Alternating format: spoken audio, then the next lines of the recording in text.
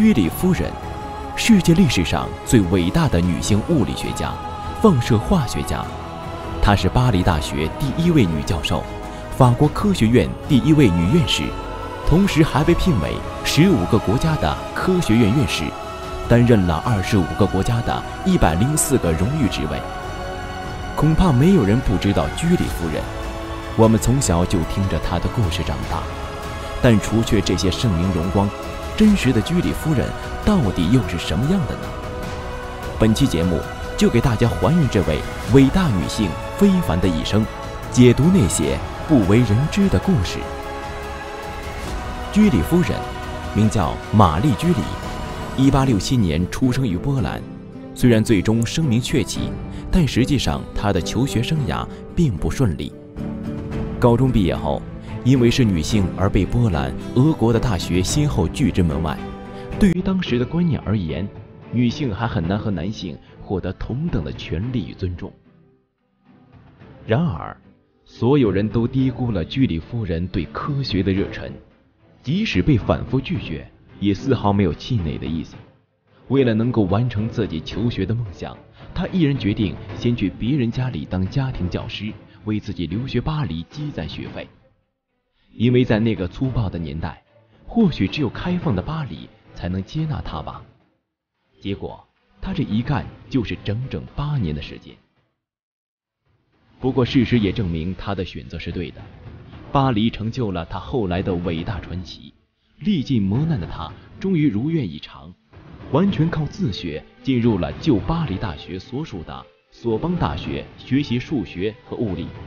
最后取得这两个专业的硕士学位，在巴。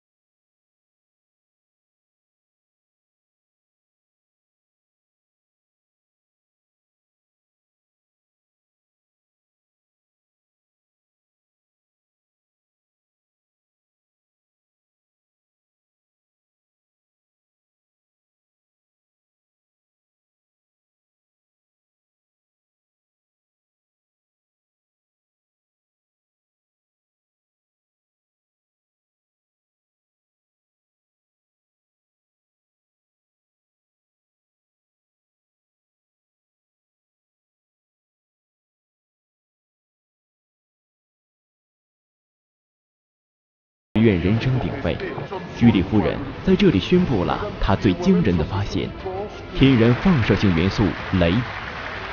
这位美丽端庄的年轻女性让法国乃至世界科学界无比震惊。她的发现标志着物理学进入了一个全新的时代，而且在此之前还没有一个女子登上过法国科学院的讲台。按理来说，这些成就和发现足以让他名留青史了，但执着的他仍不满足，他更想将这种神奇的元素提炼出来。为了得到镭，居里夫人开始了她漫长而艰苦的提炼工作。一间四处透风的木棚就是他的实验室，夫妻俩把上千公斤的沥青矿残渣一锅锅的煮沸，不断的翻搅过滤，就这样。经过三年零九个月的艰苦工作，居里夫人终于从矿渣中提炼出零点一克镭盐。它在容器里散发着幽蓝色的光芒，这是居里夫人天才智慧和非凡毅力的见证，也像是这对令人敬佩的夫妻爱情的结晶。如又能想到上天竟如此残忍？就在他们提炼出镭元素四年后。他们的事业生活正在渐入佳境之时，丈夫皮埃尔竟然惨遭车祸身亡了。这对居里夫人来说，无疑是个巨大的打击。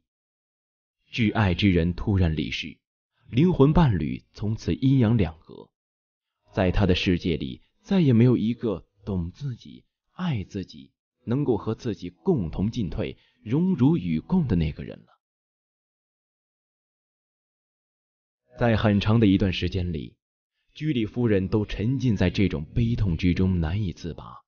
但居里夫人毕竟是居里夫人，这个在男性主导的科学世界里巾帼不让须眉的伟大女性，留给别人的从来不是软弱的形象。